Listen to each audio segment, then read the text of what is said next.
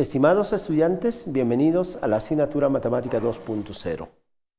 En la semana 15 es momento de conversar acerca del modelado de funciones. ¿En qué consiste?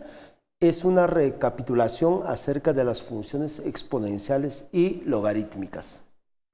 En consecuencia, vamos observando un primer ejercicio como aplicación. Ecuación de la demanda. La ecuación de la demanda para un producto está expresado como precio igual a 12 elevado a un exponente 1 menos 0,01 por la cantidad demandada. Nos aclara que el precio es P y Q es la cantidad de números, número de productos demandados. Entonces, en el inciso A nos sugiere que tenemos que utilizar logaritmos a fin de que Q sea despejado. En consecuencia, Veamos el procedimiento. Si nosotros tomamos el logaritmo común o neperiano, entonces el exponente tiene que bajar. En consecuencia quedaría logaritmo del precio es igual a 1 menos 0,01 por la cantidad demandada y todo esto multiplicado por logaritmo de 12. Perfecto.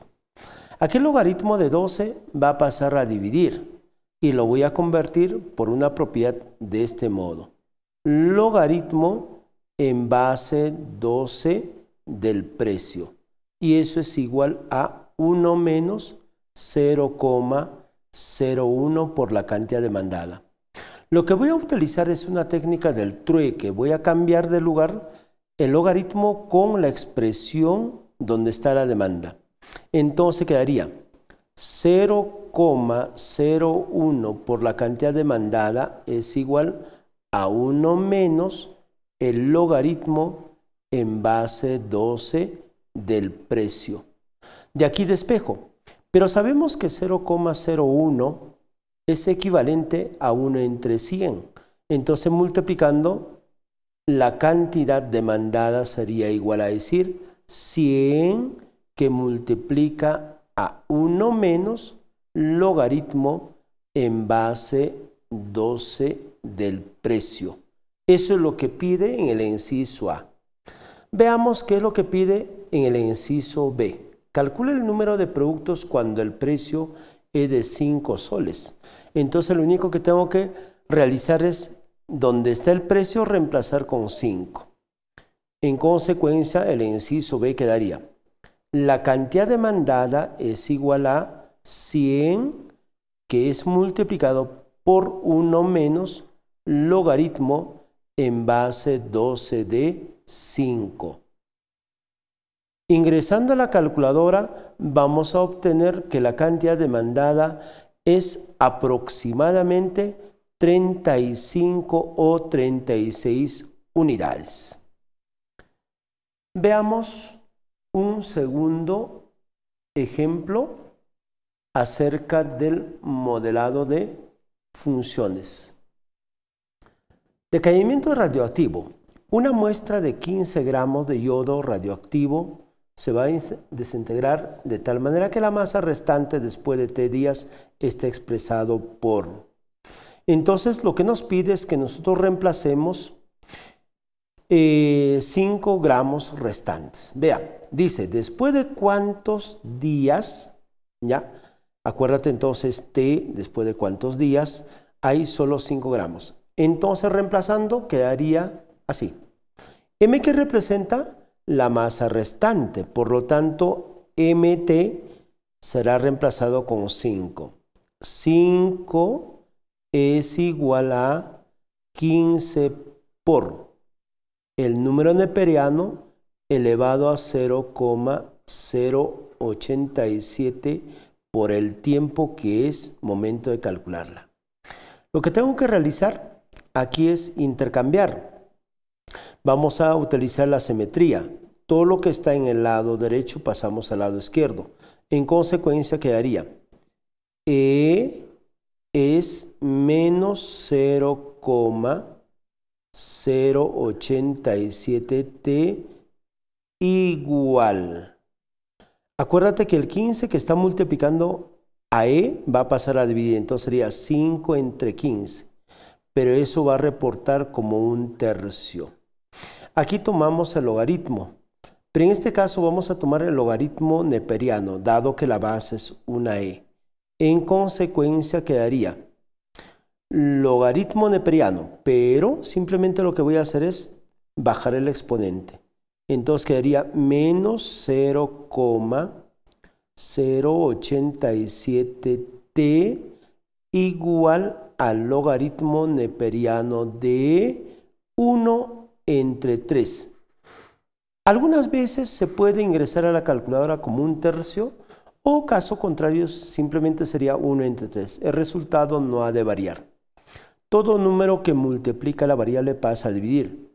Por eso ingresando a la calculadora, el tiempo aproximado sería logaritmo de un tercio entre menos 0,087 va a resultar siendo 12,62 aproximadamente.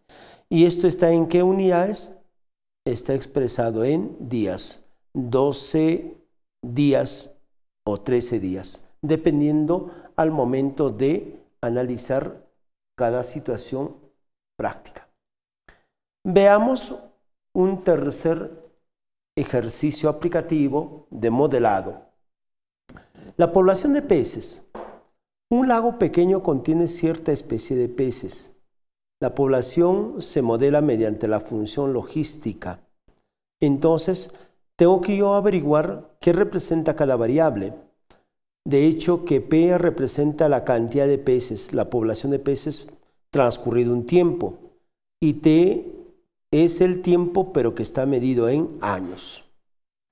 Entonces me dice en el, en el inciso A, encuentre la población de peces después de cuatro años. Lo único que tengo que hacer es, para este inciso, el tiempo va a ser reemplazado con 4.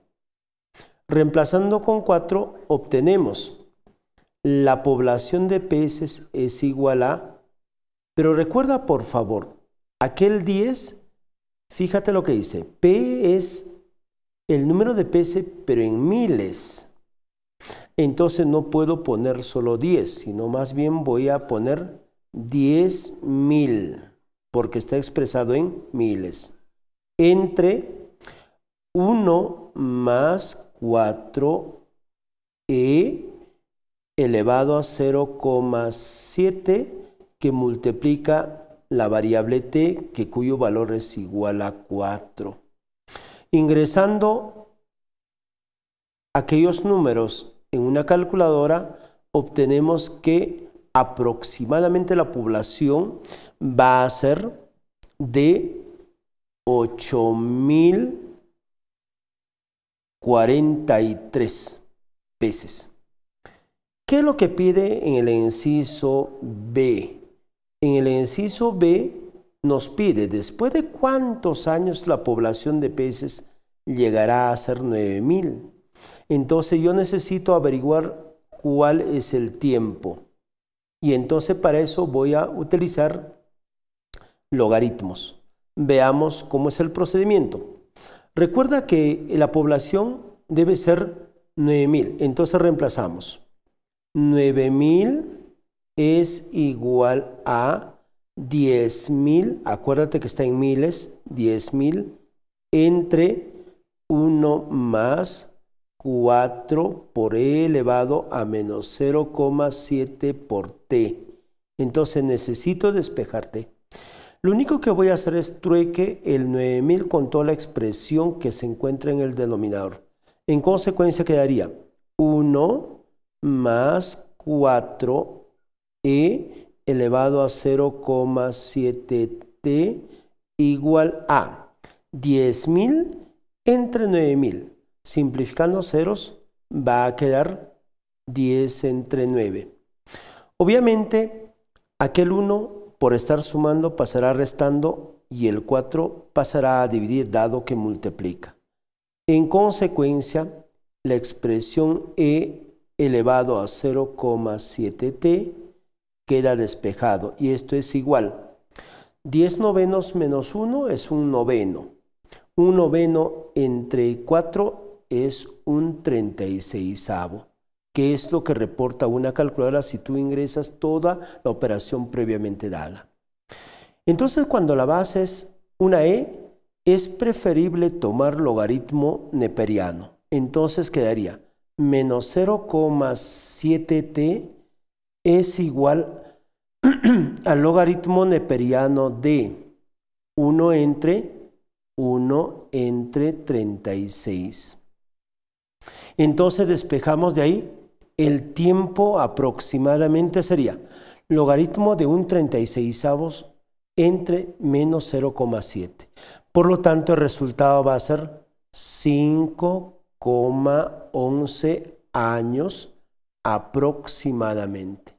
Entonces podemos decir, después de cuatro años, la cantidad de peces será de 8.043 y para que sean 9.000 deberán pasar aproximadamente 5,11 años. Muchísimas gracias.